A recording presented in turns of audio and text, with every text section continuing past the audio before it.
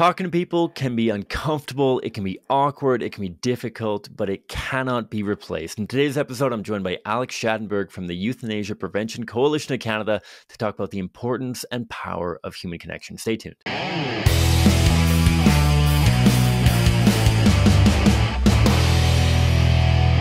Hi, folks. My name is Cam. I am the host of the Pro Life Guys podcast, a show dedicated to equipping you with the tools that you need to have compassionate and compelling conversations about abortion so together we can change minds, save lives, and transform our culture. Thanks a ton for tuning in um, and for being a part of the Pro Life Guys podcast. It's a joy to have you along for the ride. Um, here we are, um, autumn 2023. I got colors changing all around me. Autumn is in the air. Um, without a doubt, my favorite season. And without a doubt, look at this transition. It wasn't even planned. Holy moly. Um, without a doubt, one of my favorite people, Alex Schadenberg, joining the show today. Alex Schadenberg is an excellent friend of mine. Um, just an, an excellent human being. He is so wise. He is so caring. He's so knowledgeable, not only on the, the euthanasia and assisted suicide front. I first met Alex over 10 years ago at a presentation that, that he gave in Lethbridge, Alberta. Um, I've heard him speak dozens of times. And one of the things that I'll get into um, in my conversation with him is how highly he values and understands human connection. I feel like as our our culture gets more and more digital, as it gets more and more social media oriented, all this kind of thing, there's always this temptation for people who now have an excuse not to have human interactions. Um, I, I, don't want to dump too much on billboards. Billboards are important as a, a component of education, um, in that they they mass engage um, people driving by that kind of thing, but it doesn't replace human interaction. Even internally, looking at CCBR, looking at projects like our postcarding campaign or, or vehicle choice or banner campaigns, absolutely essential, I think, in spreading information in a very highly efficient way, they cannot replace human interaction. I would be incredibly remiss if CCBR or other pro life organizations ever decided that we're not going to do conversations anymore. We're just dropping off postcards. We're just doing um, driving our trucks around. As I mentioned, very important component getting people thinking, getting people considering the reality of abortion, giving them the opportunity to call in with the phone number on the back of the postcards, on the side of the truck, that kind of thing because that human interaction is so important. I want people to call in. I want people to talk to us at our street corner displays. I want people to talk to us at, at door knocking, even if that includes expressing frustration or disappointment or anger or sadness pertaining to the images that they've seen before. I want them to be prepared for a conversation. But even more importantly, I want them in a conversation because I think that there is simply no replacing the value of human connection. I know that this is something that Peter and I actually way back when touched on with our friend um, south of the border, Mark Harrington, um, president, executive director, head honcho. Don't know exactly his title at Created Equal. Um, and the power of human interaction as it pertains especially to social media and how social media is a a necessary addition at times because the conversation about abortion is happening on that forum. And so we need to be interacting there as well. But how important it is to have face to face live interactions is irreplaceable I think Alex is better than anybody when it comes to talking about the importance of it and the ministry that he does with the Euthanasia Prevention Coalition of Canada. Um, he travels around the world, and not only does he interact with people who are in dire straits, who are themselves considering medical assistance in dying, euthanasia, assisted suicide, he talks with family members, friends, coworkers of people who are considering that and coaches them through how to foster relation, how to foster um, a response to the loneliness or isolation that person might be feeling but also even in talking with pro lifers and talking with people who oppose him, how willing he is to rearrange his schedule. Um, I was going to get into, I mean, the guy the guy's a hero when it comes to talking to audience members at presentations. He is the one shutting down the venues because he's still talking to folks um, because the questions they might have, the stories that they they want to share with him.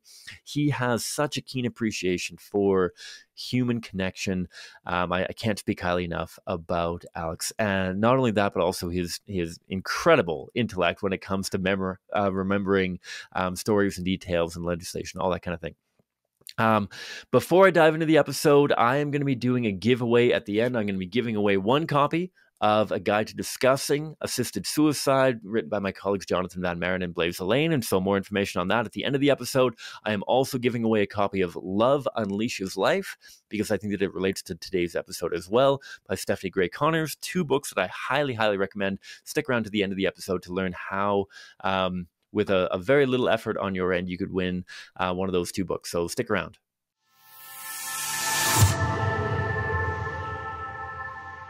All right, folks. Alex Schadenberg, how are you doing, sir? Thanks for joining the show. I'm doing very well, sir. It's uh, it's uh, a beautiful day where I am, so uh, hopefully it's a beautiful day where you are, and we're going to be talking about uh, a sad topic because we're talking about death. But I think it's important to have this discussion.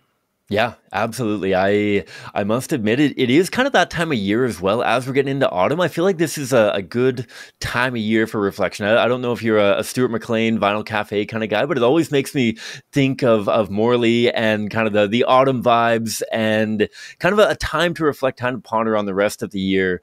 Um, and so I, I think this is a really cool episode because you and I are going to dive into a lot of reflection, not only on what we've mm-hmm. been up to, but also reflecting on people, people in general, the importance of human connection, all that kind of stuff. Um, but before we dive into that, uh, first of all, I'm a little bit surprised I'm not catching you in an airport. I feel like you are, without a doubt, the, the best traveled person. And, and I don't even know if you consider travel itself an objectively good thing anymore. I feel like the the allure has probably worn off a little well, bit ago. it used to be exciting at one point. now, now, with all the delayed flights constantly, it's really becoming a headache. But nonetheless, yes, I, I, do an awful lot of travel and a lot of presentations. So, yeah. Awful lot of travel. We're going to talk about that at the end and how people can get plugged in with supporting you in the travel that you do through the Euthanasia yeah. Prevention Coalition.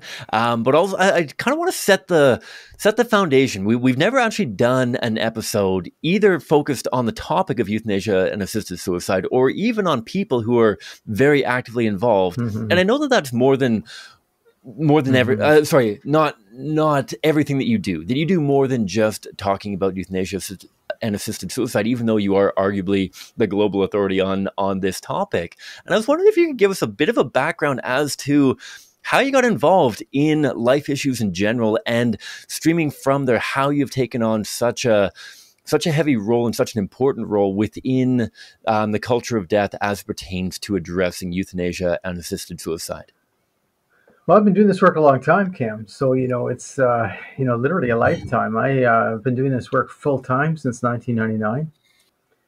And uh, I got involved in the issue of euthanasia specifically, uh, basically out of two reasons. The first was um, while that whole Latimer debate was going on, and you had Sue Rodriguez in Canada. Sue Rodriguez uh, died in 1993, but or 1994 maybe. But she went to the Supreme Court of Canada, and her case was heard in, in 93, and the Supreme Court decided that she did not have a right to euthanasia or assisted suicide. She had ALS, and she was seeking a change in the law and went to the courts to try and accomplish that. But then there was the case of Robert Latimer, who killed his daughter Tracy. Uh, he uh, gassed his daughter in the cab of his truck. She had cerebral palsy. And uh, then, uh, you know, uh, it, all of this issue really got to me. And I was doing a lot of writing about it. Like, for instance, um, you know, under this theme of caring, not killing, I produced a video. I was I was the one doing a lot of talking about it, so therefore I started becoming considered an expert in it and things like that.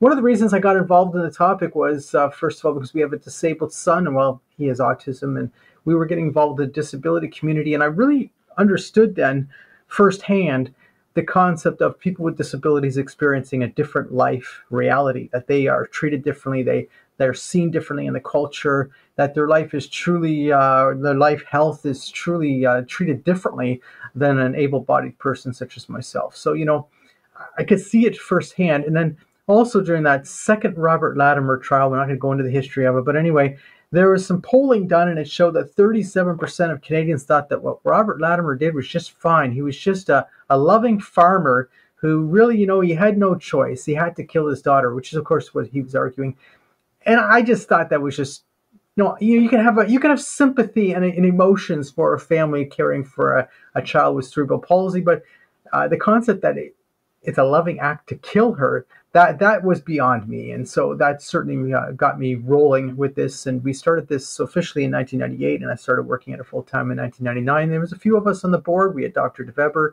who was a pediatric oncologist, who recently passed away, and we had uh, Jean Eklund, who was um, you know, a nurse uh, practitioner in palliative care. who would always talk about the fact that she had been at the bed of well over a thousand people, caring for them as they were dying, and and never once did uh, anybody feel the need to ask her to have their life ended because uh, she knew how to care for them. So the fact of it is, is uh, I've been doing this for a very long time, and um, one of the reasons was uh, because of uh, experience. The second reason was simply out of necessity. Once you start doing it, and people start calling on you, before you know it, um, you sort of how would say read yourself or became sort of an expert on it, and you continue to go. Yeah, absolutely, and, and and also just filling the void, right? That that there's so much that needs to happen, especially since 2015 when this really came to light for a lot of people for the first time. It feels like yeah. I remember yeah. I, I listened to to talks that you had given in Lethbridge and other places well before that, and that that you were kind of trying to wake people up to the fact that this is coming down the tube, and and obviously 2015 was a, a major year in the development yeah. in Canada, and and this continues to go. Um, what do you and and this is going to be a kind of a two part question because I'm I would anticipate that there's kind of two elements to this answer. The mission of Euthanasia Prevention Coalition.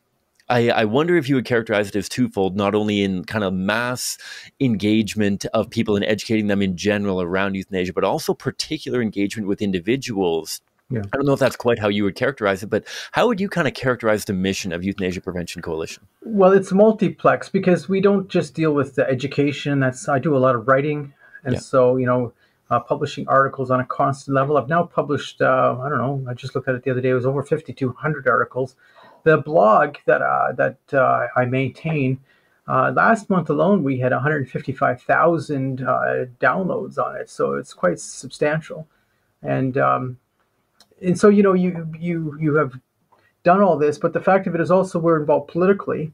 Uh, previous to legalizing uh, euthanasia, there was the uh, bill by Francine Lalonde that, came out. There was, she actually had two bills, but the one in 2009 actually went to a vote in 2010, and it was defeated by 228 to 59. So, you know, that euthanasia bill at that time, as wide and as terrible as it was, and uh, how poorly worded as it was, etc. Well, sadly, the reality was it was actually tighter than what we have in our current laws today.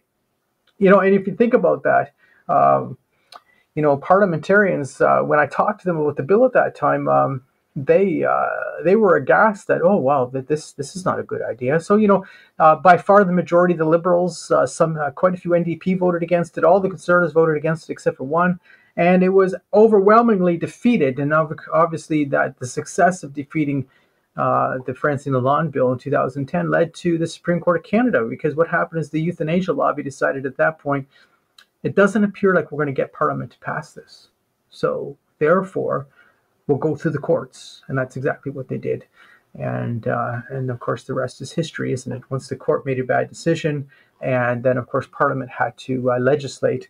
Uh, the Liberals came in just in time to legislate on this. And, uh, and that's one of the reasons why we now have the most.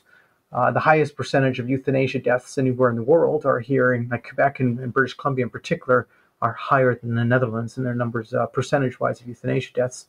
And uh, the reason it's so uh, lax and so wide is uh, how it was legislated in the first place. So, yeah. And we warned them. We made it very clear you can't have, as much as I'm opposed to killing people, so I'm opposed to euthanasia, assisted suicide for all reasons, uh, but you can't have a law, if you're going to do this, you can't have a law that doesn't define the terminology within the law.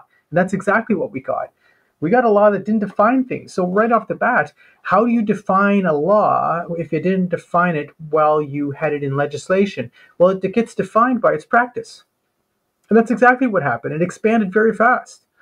Um, I'll give you another example. Uh, recently, we've been going through the, uh, they, they have these, uh, the federal government publishes model uh, practice sort of guidelines for euthanasia.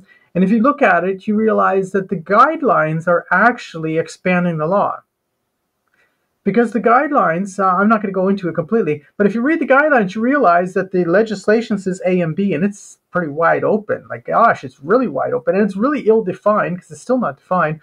But the guidelines actually, funny enough, go further. So you know that it was the euthanasia lobby involved with creating these guidelines, but on top of it, it's the practice of the law that shifts when they pr- pr- produce these type of a guideline. It makes it even wider and more uh, more expansive, and that's what we're going through on a constant basis. Yeah. And when we talk about stories about euthanasia in Canada, we might get into that next, but I don't know. I can't make this stuff up, Cam. This is the crazy thing. If I were to write a, a book and have all these potential stories in there, they would have said, "Oh, Alex, you're just extreme. Like, like what's up with you? Like, that's not going to happen in Canada. What are you talking about? And yet we see the major media publishing these stories of these real stories of real people, and it's going over and over and over again. And you realize you can't make this stuff up. And and, it, and yet that's not, what's happening. Exactly, and it's not. Um, war warmongering or anything like that. That, that no. uh, I remember last talk that I, I, heard you give at the March for Life in, in Edmonton here a couple months ago, um, and and you were sharing your PowerPoint, and these were stories that were covered by all of the major news That's carriers. Right. This, this, wasn't some obscure blog that hadn't been um, fact checked by anyone before. This is CBC, this is Global, this is CTV, things like that. I'm just quoting them. I'm just exactly. quoting them. Exactly.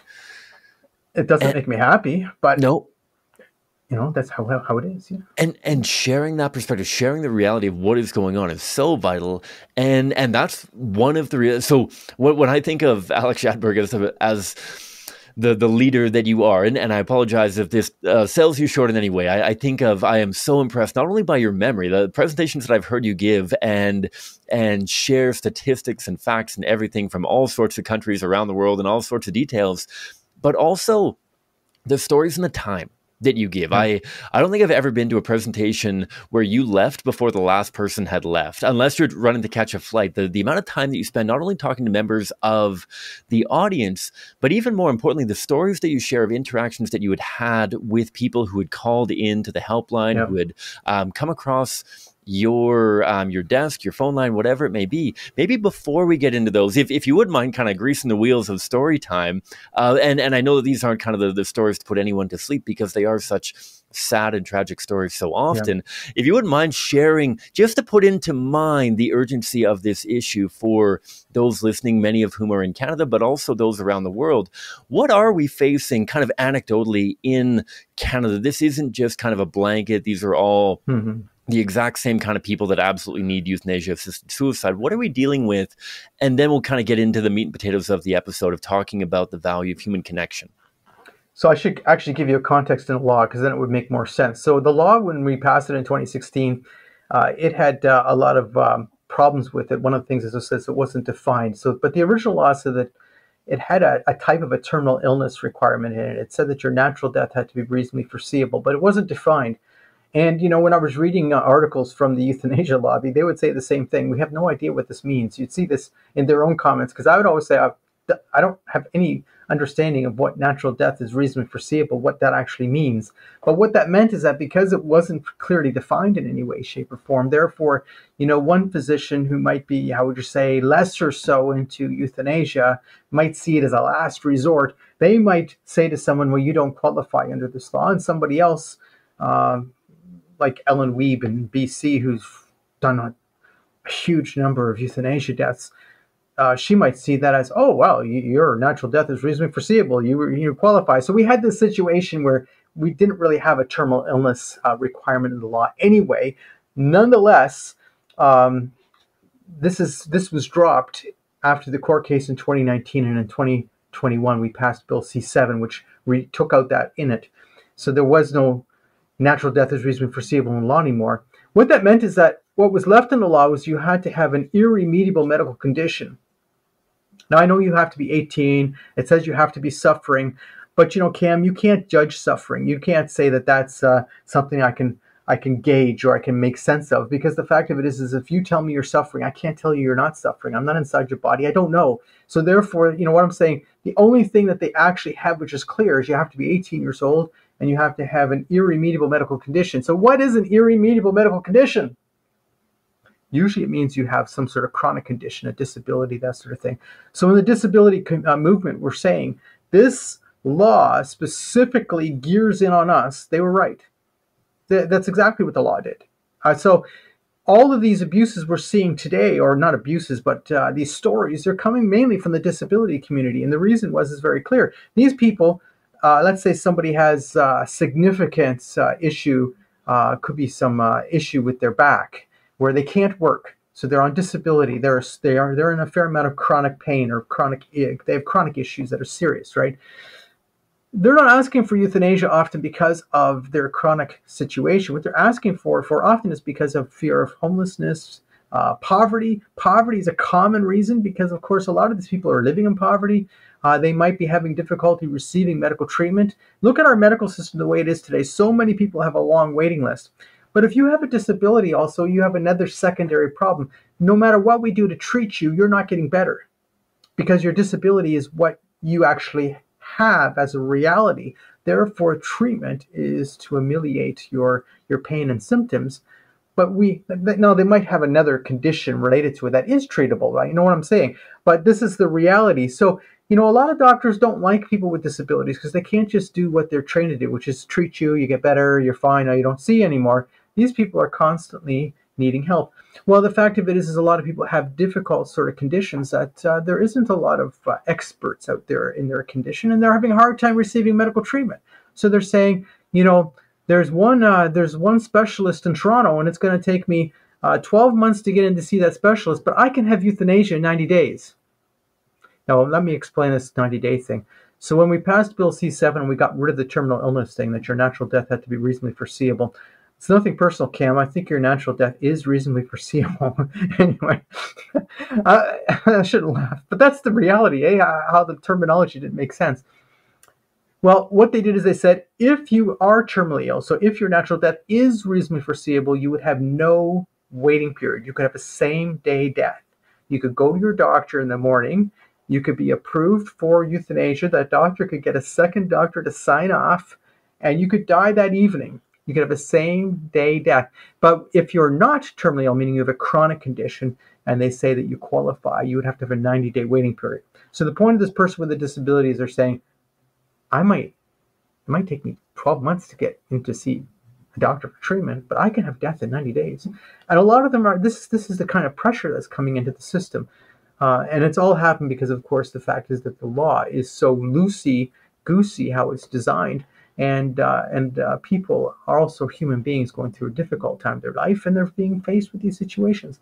Now, just so you know, my my experience is very clear. I got a call from this guy in um, British Columbia, and he also had uh, multiple disabilities. He called the helpline. We were talking to. I was talking to him. I was one communicating with him, and he wanted euthanasia. So I think what happened is, is that somebody said, "Well, you know, you, you should call this number here and talk to them because before you go ahead and have your life ended, maybe it's good to talk to them. So when I was talking to this guy, he called me, and uh, you know, my heart went out to him because he had some significant health issues. There was no question about it. In fact, I was thinking that he probably wasn't properly treated because it didn't it didn't totally make sense to me what he was saying, and I wasn't judging what he was saying to me as being accurate. It didn't make sense why he was experiencing these things. I thought he was not properly cared for. But nonetheless, I asked him after listening to him for quite a while, you know, listening to him, being attentive, making sure that he had my time. I asked him, but why do you actually want someone to kill you? Because that's what you're actually asking for. And he wasn't silent. He said, It's because I have nobody in my life. And I really see no purpose or meaning to continue. So you would say, well, here's a guy who must be in a lot of pain and suffering, and pain and suffering is his reason. But when I actually ask him the key question, what is he saying? Because there's nobody in my life, and I feel I have got no meaning or purpose to continue. And this is what it comes down to as a human person for most of these people. I had a woman call me.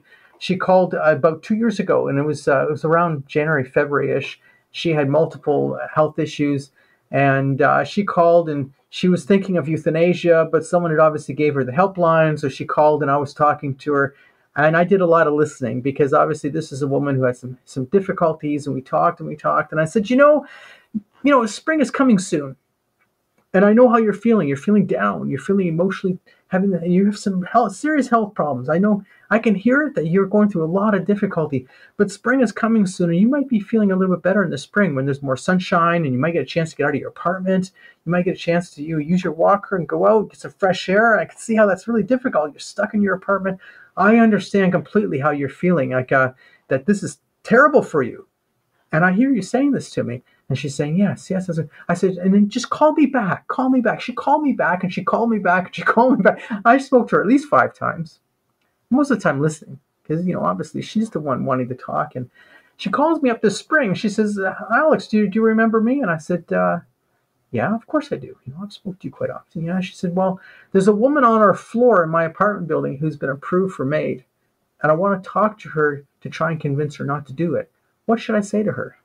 This is the same woman originally called saying she wanted to die. And now, a couple years later, she's saying, How do I help this other woman in the building convince her to uh, to give life a greater chance to continue living. So you can see how the whole thing comes around and the reality of the human person when you're dealing with these questions. Uh, do we always have that kind of success? I wish we did, but no. I wish we did, though. It would be very nice. But, you know, here we, we understand the reality here, especially when you hear these stories of homelessness. Yeah. You know, yeah, homelessness and, and like I said, isolation, because I'm sure that's something that you hear quite yeah. often, right? I mean, it, it's something that, that we get quite often while we're talking to people about abortion on street corners. We have people that come by that just want to talk. They yeah. just want to share their story. They want to share about their day. They want to talk about anything. And so often, uh, I mean, I guess even more so when we're door knocking, we find that there's people who haven't interacted with another human being for days, weeks, sometimes days, even longer weeks, than that. Yeah. And and data shows that's exactly the case. The data shows that's exactly the case. And we're not even aware that the data shows in the UK, they did a big study in the UK, one third of the seniors who live alone, that is, one third of them who live alone, said that they had not talked to more than one or two people in a week. So, you know, that's a lot of loneliness. Uh, and they said also, if someone just says to them in a line at the bank or at the grocery store, How was your day? That would just make them so happy. So obviously, you come into someone's door, they're saying to you, "Oh, come on in, dear. Let's have some tea." and it's a reality because they're lonely and they're thinking, "Someone's coming to my door.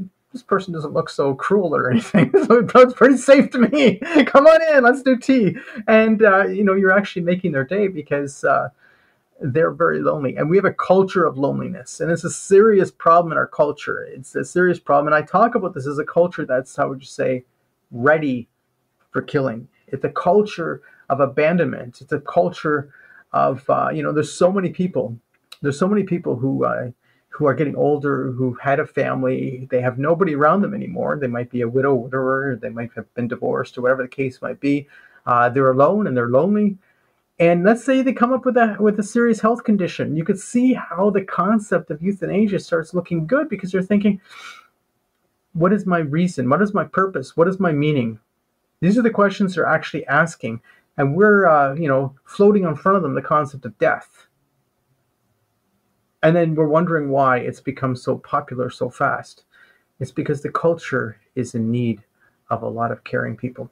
Yeah absolutely. And and like you said we are ripe for death right now because I feel like for decades now we have been preaching the secular virtue of independence as though it were the religious virtue of fortitude that somehow strength and perseverance can only be characterized as such if you're doing it by yourself and there's nobody nobody helping or contributing that you are the helper one and that nobody's supporting you and then we have these people that are getting to the, the age where they're no longer able to live yeah. or work or contribute with the same degree of independence or even being the ones on whom others are dependent rather yeah. than vice versa and now we're in this identity crisis where I've always been the helper one I don't want to be the one who's receiving the help. I want to be the one who's giving the help at at the very most, if not just leave me alone and let me um, on my my own um, kind of day to day happening, and then they realize just how isolating that is. As soon as they retire, as soon as their their kids move out, or whatever it may be, the isolation sets in, and they realize that independence isn't the um, the be all end all that we've been trying to build it up. I, I feel like as a culture, do you kind of see it the same way, or what are your thoughts on that? Well, that's exactly what's going on. We have a radical nature in our culture right now that's undermining what it is what it means to be human. So, what do I mean by that? It sounds like a pretty, you know, philosophical concept, and actually it's not. I deal with everything from what I would call the lived experience of a human person.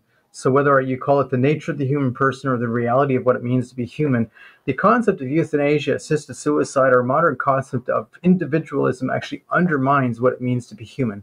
Because what we're actually doing is we're saying that I can do everything on my own. We sell euthanasia as freedom, choice, autonomy. Well, Cam, we all want freedom. We all want choice and we all want autonomy.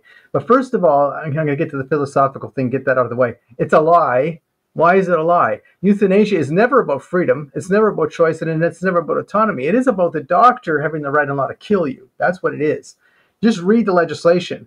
You know, you tell me, uh, oh, Alex, that's no, read the legislation. That's what it's about. They're going to sell it as freedom, choice, and autonomy because that's what the culture wants. They're going to wave the flag that everyone wants to see. The reality is, we've given doctors the right and law to kill you. I'm going to go one step further to prove to you that I'm not even kidding with you. The law says so. The law goes through the the things the doctor must do to approve your death. Then, the, then it says in the in the legislation, the doctor must be of the opinion you fit the criteria of the law. So here's my point anytime we've had some of these crazy stories like the Alan Nichols death and and um, you know these different like, like, there's a whole pile of them.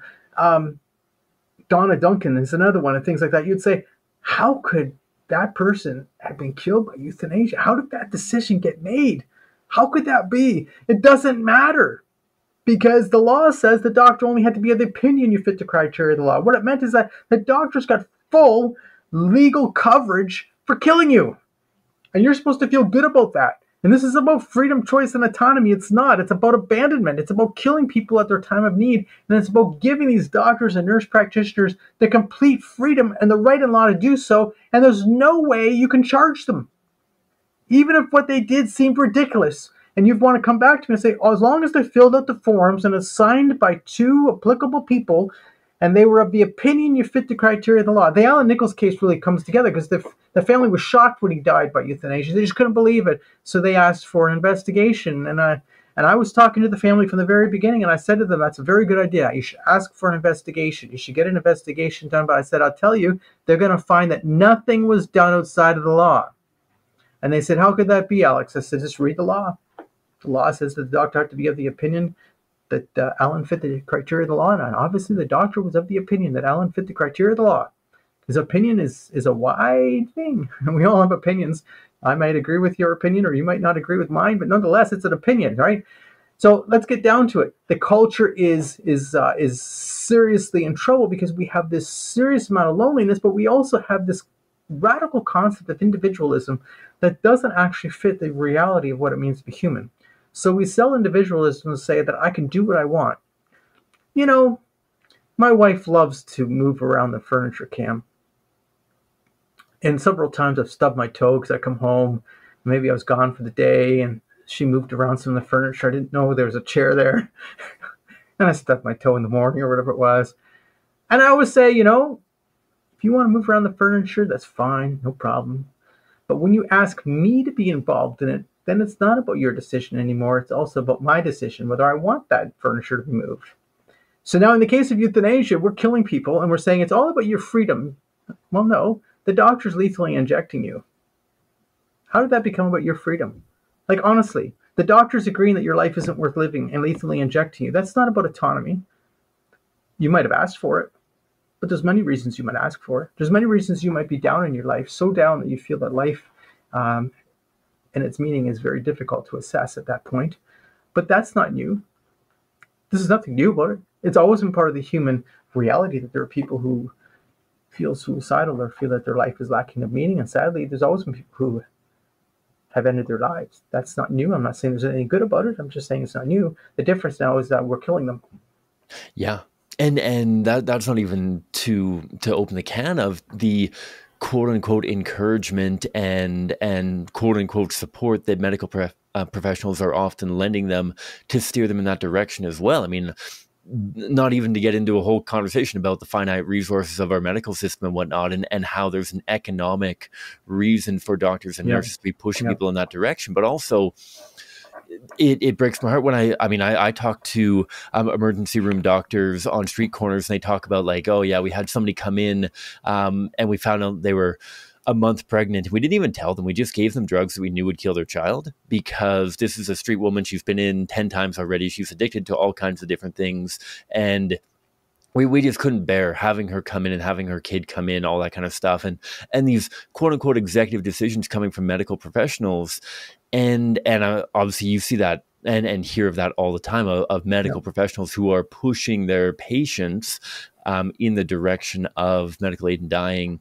Um, and, and not even necessarily because they're malicious, hateful people that want to kill people, but because they're misguided and because they haven't had the opportunity to come face to face and really challenge the question. I, I, pulled the book off my shelf of Man's Search for Meaning by Viktor yeah. Frankl, yeah. and and that question of of there aren't enough people that understand that equation of despair so often suffering without meaning, as we touched on at the beginning, and how what that person needs is not euthanasia assisted suicide, but rather friends and time and exactly care, it. kind of thing. When we get a call, let's you know, obviously you're doing a lot of listening. Calls anyway, but the fact of it is, is that uh, the fact of it is, is that uh, most often someone needs to talk to somebody, and you know, I'll often say to them, "Do you have a friend? Do you have family members? Is there somebody in your life? Uh, is there somebody who you've known in the past who you could contact today and talk to, who uh, who values and who'd be happy to talk to you?" You know, because I'll give you, uh, you know, even a better example. This uh, this Tyler last January, Tyler was in the media because he wanted to die by euthanasia and he was homeless. He had been homeless for about eight years uh, not completely consecutive. Like he had some periods of time within that eight years where he had a home, but not for very long. And and he's got a lot of, you know, mental health concerns and issues like that, and which would be natural in the case of someone who's been homeless for so long. And it's sort of uh, skidding along, and, and his life has been very difficult, very, very, very difficult. He's got a lot of horrific stories of things he's experienced, but he wanted to die by euthanasia. And of course, he, he went to the media because that that time the government was talking about delaying euthanasia for mental illness until March of 2024, which is now the case, right? The government passed that legislation to delay euthanasia for mental illness until March of 2024. The crazy thing is, we're still going to have euthanasia for mental illness officially begin in March of 2024. Like, um, uh, we can go into that in a minute. But anyway, so Tyler was obviously not wanting that to be delayed because he wanted euthanasia. One of our supporters helped Tyler. Now, first of all, I had lunch with Tyler I contacted Tyler, the guy who wrote the article. I had lunch with Tyler, and he was pretty belligerent to me because you know he was thinking there should be a right to euthanasia and all this kind of stuff. But you know we had a discussion, and, and he was very interesting. It was worth having that discussion. It was it was it was good because he went to the media. So obviously speaking, he's he's he's someone who's worth talking to. But one of our supporters actually helped Tyler and took him in and gave him a place to live, and it's helped him for quite a while. And uh, Tyler doesn't want to die anymore right? Because there's someone who actually cares about him. There's someone who's uh, who's uh, in his corner. There's someone who's helped him find some meaningful work, and uh, now with meaning and purpose, his life he wants to live. He uh, and he thinks it's a crazy idea because he was at a low time. He was at a super low time. If they had approved his death, if it, if it was possible at that point to approve his death, and they had done so, it wouldn't have been about freedom and choice and autonomy. It would have been abandoning a guy who's in deep need of of help of cultural help, social help, personal help, uh, and he would have been dead. Dead people don't get help; they're gone. You see, that's how it goes. Um, and so this is the kind of thing that we're talking about all, all, all over again. Now, the thing about Viktor Frankl is very important because he's identifying exactly the same reality as we're seeing in the culture today. And, and it very much concerns me that we have so much so much abandonment within the culture. And a lot of people question and they say, "Oh, Alex, it's not so bad." Well, you know, actually, I live in a small town and in a small town, you know, people seem to be more interconnected.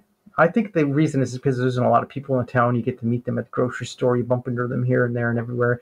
You know, if there's there's a couple of people in, in our little town, they clearly have uh, some mental health issues, but they have a place to live. They have an apartment. You you see them around. You know who they are. There's no issues. Like they just they're just part of the town. That's how it is, and it's all fine and good. But you can see how you get lost if you're in uh, in a cultural situation where there's nobody who recognizes you or cares about you or shows any time for you, you could see how maybe death starts seemingly like looking like a good idea. Yeah. Yeah, absolutely. And, and and let's dive into that further and, and that can kind of be the the crescendo for this episode. Yeah. Um Crescendo um, is a good movie. um of how people can can make real difference by their their yeah. interactions kind of thing. And and this isn't to say that lobbying or petitions or whatever are not important. We can do an episode on that as well. But i i feel like so often when i'm going door to door when i'm talking to people on street corners i feel like i am shifting more and more in my conversation about like yes you know what? Legislation is important. Yes funneling resource towards pregnancy care centers is important but you need to be a good friend, a good neighbor, a good coworker, yes. good family member to the people around you because so often the people that I talk to who are post abortive, all they needed was for somebody to be able to babysit their their four year old so they could go to the prenatal um, appointments. All they needed was somebody to be able to help out with meals on Friday night or pick the kids up from from daycare, or something like that. Little things, all things considered that would have led them to not having an abortion. And and from what you've been sharing as well of how often that is the case for for people who are contemplating assisted suicide and euthanasia that, that it's often relatively small things sometimes very large things um, not to sell it short. But I wonder what kind of words of encouragement do you often give, whether to audiences in the talks that you're giving, or even just one on one as you're talking to friends and family, as to how they can be culture warriors that don't necessarily need a platform. You don't need to necessarily yeah. run for office per se, but rather be a better neighbor, I suppose. Well, it's twofold. First of all, we can change the world one person at a time. I might, I not, might not have the ability to change the world in general. And if I, and we all know people, we all have family members, we all have friends, we all know people in our communities around us, and you know that someone's going through a difficult time. Um, you know, visiting someone and being with someone, traveling with them through their difficult times is essential. Could you imagine if you're going through um, significant health condition and you're all alone? You know, I have a friend who's right now going through cancer treatment. He's doing 30 days in a row of this. And uh, every day he's sending out texts, and every day I'm responding. And I've said, you know, you know, we should have, we have to have lunch together and things like that. But I'm always responding and sending little messages. Why? Because I know it's a heck of a thing that he's going through. And if he's going to go through it alone, that'd be too tough. Now, he's also got a granddaughter that he loves dearly, and that makes all the difference in his life. But you see, it's that, once again, that interconnectedness.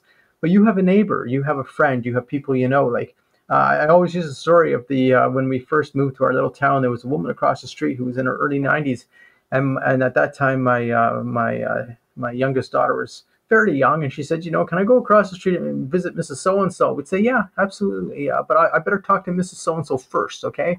No problem. I went over to talk to Mrs. So and So. She said, "Oh, I'd love to have her over. I'd love to." So everything was fine. It was just right across the street. There was never an issue. This was a woman who was a retired teacher. She just enjoyed it so much. It was wonderful. But then my uh, my youngest son, who was you know at the time I think he was like four or something can I go and visit Mrs. So across the street? We're like, ooh, we better talk to her about that first. You know, I think so. anyway, uh, but you know, when it comes together, here's the thing: when she died, we we went to the to the funeral home, and we brought our two youngest kids with us because they were the ones visiting her all the time. We went to the funeral home, and what did all the family say? Oh, this is so and so and so. Oh, our mother talked about you all of the time, all of the time. You were so important to her. Now, I'm not saying this was a woman who absolutely needed my kids to visit, uh, and I'm not suggesting that you should go do that, send your kids across the street to the elderly neighbor, but I mean, you know what I'm getting to. It was so important to her, and all we were doing is saying, well, for some reason our kids like going to go vi- like visiting her, and she seems to be okay with it. This is good with us because uh, no no issues are happening, so this is good, and that's exactly what happened. But you know, we have people in our communities that are no one talks to. But you know, I'm going to go the next step what about your faith communities? Our faith communities, historically in the past, it was normal that within a faith community that if you knew Mrs. So and so was having health issues or having difficulties, that someone would go visit and help. Or people in the community would just do that. It was part of the normal understanding of living within a community. And they just did it. My mother did it all the time. My mother's always done this.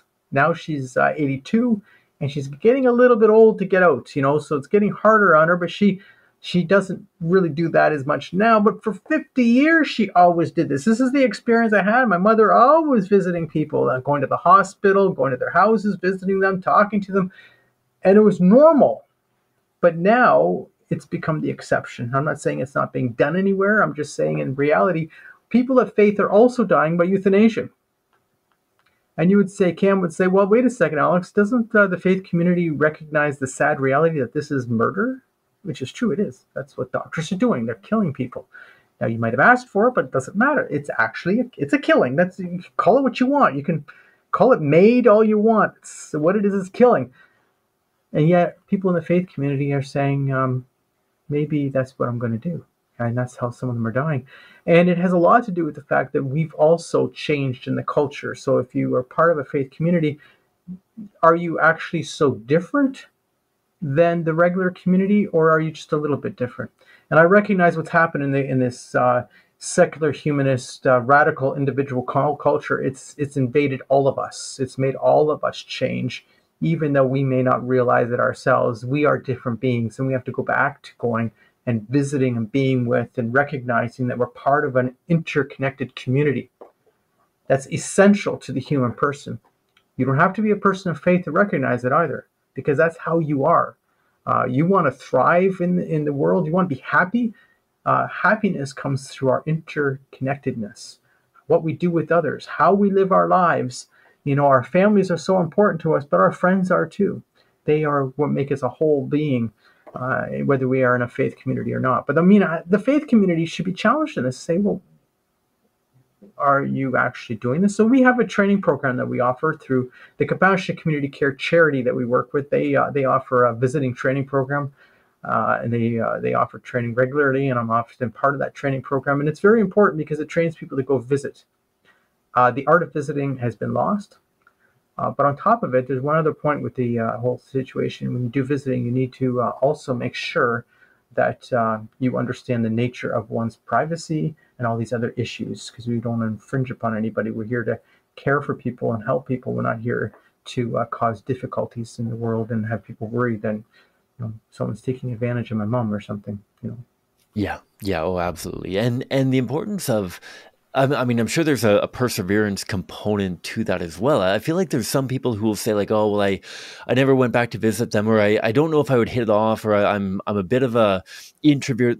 These kinds of things. And I feel like there's something to be said for um, accepting the challenge, right? That, that I the the visits, the conversations that you have, you don't necessarily. I mean, you're a very in my experience, outgoing person. You like having conversations, you like talking with folks, but I'm sure that there's at least some times that you say, like, oh, I didn't quite hit it off with that person. It didn't feel as natural as talking yeah. to my best friend, kind of thing. And yet, it i mean friendships take time and investment takes time and and sometimes people are initially very off-putting on purpose. I, have had a number of friends who are very yeah. off-putting on purpose because they want to know how much you actually want to be with them, how much you actually want to be friends with them, how much you actually care about them. And if they can throw you off by saying, uh, a poor flavored joke or or not laughing at your joke or something like that and, and mm-hmm. turn you off and just like end it right there, well, then they've they've done their litmus test on like this person doesn't actually care about me. This person isn't interested. This person is is scared away easily. This person's going to abandon me like everyone else.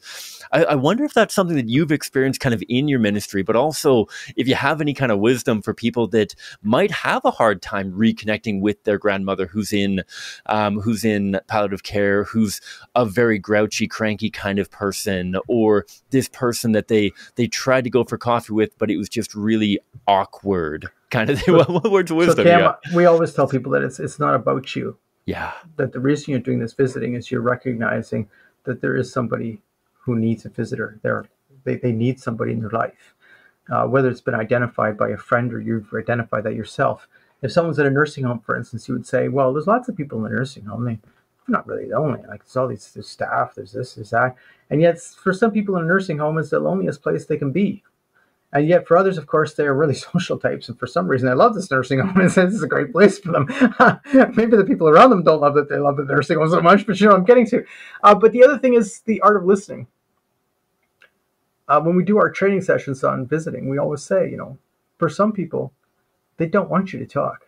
Just being there is more than enough. And they want to talk, or they sometimes the silence is okay because there's a body in the room, someone there saying it's it's fine you don't want to talk, that's okay. Uh, that's fine with me. I'm okay with that. But uh, I'm here if you want to. I know the other thing is we also do the one other thing. We train people to talk to people about their life. You know, if you ask somebody about their life, it really changes the perception of themselves. And it's very important because so if I say, Cam, tell me about your children, da, da, da, da, you know, and you tell me all about your children and everything, obviously speaking, you're affirmed by that because I actually showed interest in your children. So if I say, tell me about your life, what what was your younger life like? T- tell me about, um, you know, you were married. How many kids did you have? Uh, you know, I'm just interested in these kind of things. I'm interested in you, not for the sake of me, but for the sake of you. I'm interested in maybe, you know, writing your story. you you you sound like you've had such an interesting life. I'm interested in your story. And guess what? That changes the perception completely because suddenly they start thinking, you know, I have had an interesting life. Some people are losing their memory, uh, but you know, the interesting thing about losing your memory, you tend to lose your immediate memory, like you're having a hard time remembering what you had yesterday for, for dinner. But what happened in the 1980s, you you remember that pretty well, actually. And whether the story is completely accurate or not, I mean, you have it down pretty much. Yeah, we did this, we did, we did that. Yeah, we used to go camping. We and they they tell their stories. It's reminiscent, reminiscent therapy. And we're not trying to be psychologists or psychologists. We're not trying to be anything of the sort. We're simply trying to be friendly and care about someone. That's all we're trying to do. But with that reminiscent therapy, you really help someone feel better about themselves. But sometimes it's just listening. yeah. Know? Sometimes it's just listening. And and I might even take that one step further, and, and, feel free to contradict me if if I'm off base here. But I what I've found as well is even sometimes it's just being that yeah. I my my yeah. mom I, I love my mom to bits and I love my grandmother. My grandmother passed away last summer um, at uh, a ripe old age, and my my mom picked up crosswords. My mom hates crosswords. My mom hates doing crosswords, but my mom started mm. doing crosswords because she knew that my grandmother loved crosswords. And so she would come, she'd come from Victoria, where my, my parents live, and she'd come to a uh, southern Alberta where my grandma was living, and they would do crosswords together. And my mom would just like incessantly ask questions. And and they would like they'd talk, they'd talk all morning, whatever, but then they'd they'd come to a lull in a conversation and they'd just sit side by side. And my mom would be like, a five letter word for this? Or or like, how how am I supposed to get and and it, it wasn't even like a a superhuman, personal, deep diving uh, sort of discussion or anything like that. It, it, was just being together. I've known people that have gone to seniors' homes, talked for five, ten minutes, and then just sat and read their book while their their friend reads their book. And, and maybe a conversation sparks up 10, 15, 20 minutes later. Maybe the person falls asleep and wakes up and they're still there reading that sure having i mean listening is obviously ideal if you can be in a, a more meaningful conversation then fantastic but I, I would pause to say that even being there. That it's not a matter of your your coffee is over as soon as you run out of things to say. It doesn't have to be a, a quick, witty exchange constantly, but no. literally just being with somebody can go so far as well. I agree that being with is essential. It's it's a, it's what's important to be human. We connect even when we're silent. Now, here's the thing, though. For us who are considered sort of radical types because we're opposed to killing, I don't know how you can be a radical because you're opposed to killing, but uh, you know, you know, I am opposed to killing people. But anyway, the fact of it is, is that, uh, and I've just confessed it. But anyway, the fact of it is, is that uh, we are fundamentally about caring for people. You know, the culture of death, their answer to human difficulty is to kill you. Um, that's no answer. We're all going to die anyway. I'm not about avoiding death. I'm not afraid of dying, but I, I don't believe it's ever acceptable for me to kill you. And I don't think that's my place, nor do I think that ever helps you or anybody else. Uh, because it actually dehumanizes the person you're doing this to. And when we talk about human equality, you see, a lot of people don't understand. We're all about human equality. I believe that you are essentially completely equal to me. And whether you're someone who's nearing death, someone with a, with a profound disability, uh, a newborn baby, it doesn't matter. We are all equal human beings. And you see, because of human equality, you are safe. You are seen as important. You are seen that your life and your person has meaning by me and by a culture. But if the culture rejects that human equality, which is where they're at today, and we can kill somebody, now it's very dangerous. And when I say to people all the time, I don't feel safe in a culture where my doctor or my nurse practitioner are the right and law to kill me. And they say, but you have to ask, Alex. And I always point out, but there's lots of reasons I might ask. There's lots of reasons I might be going through a difficult time in my life. I am a human being. I'm not a computer, right? I'm a human being. I have emotions. I have a psychological nature. I might become very depressed. I might be very lonely. I might feel going through existential distress. All these things are realities for a human being. And now I'm going through a health condition. You're saying it's my choice. No, they should be saying, How can I help you? Live until you die. That's the reality. Getting so to bring this all together, think of the Alan Nichols story again. What made Alan Nichols' story different in 2019 when he died by euthanasia was not that he hadn't gone through um, suicidal ideation before. as his family said, he had gone through suicidal, suicidal ideation many times. He had been in um, a psychiatric ward of a hospital on many occasions because he was so deep that they had to put him in to protect him for a period of time, and then he would feel better again and reintegrate. And he was fine. You know, he had those times where he went through. He needed times of protection. This time, when he asked for death, they took it as a request for medical aid in dying, euthanasia, and they killed him. So the difference between his previous bouts of deep, dark times where he had suicidal ideation and the time where he got killed was only the fact that in 2019 they considered that a request for euthanasia and they killed him. Both both situa- all those situations were the same. One had the outcome of killing. Uh, that's not about freedom. And you can understand in his condition that the way he was, that he was going through this on many occasions in his life, that this was not about his choice, his his autonomy, his no, it was about him needing help. And instead he was provided death. And these are the, this is the reality we're talking about. And they say, oh, some people are really suffering and nearing the end of their life. Well, some people are suffering. That's true. I, I'm not going to argue that. But that's actually the, the tiny number. Most people, it's because they fear for their future. Most people, it's because they feel their life has no more meaning, purpose, or value. So we're going to kill people because they've lost meaning, purpose, or value. And we're already talking now, and that's been our main conversation for the last little while, about, well, how do we actually care for these people? Because this isn't that the fundamental reality of being human? Yeah. You want to be human, you don't kill people. Humanity is about how I care for someone. That's what makes me human. Yeah.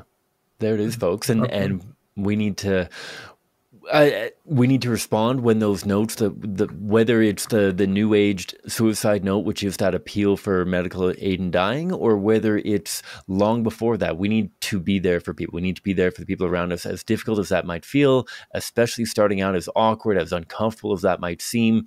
Um, to put your neck out there and invite somebody for coffee, or ask if you can pop over to their house, or invite them over to your place, or even just give them a phone call.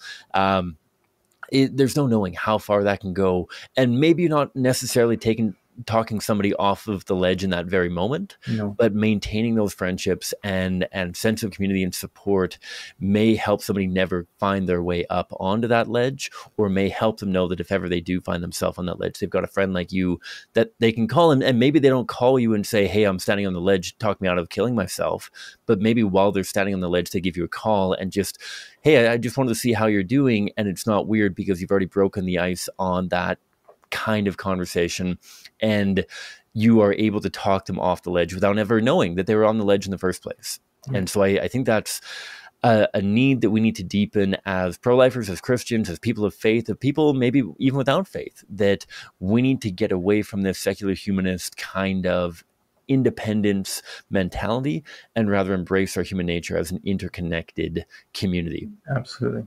So, as I say, this culture denies our human nature. Anyway, contacting the Euthanasia Prevention Coalition is easy. You can, I don't know if I should use the word, but you can Google us. It comes up nice and easy Euthanasia Prevention Coalition.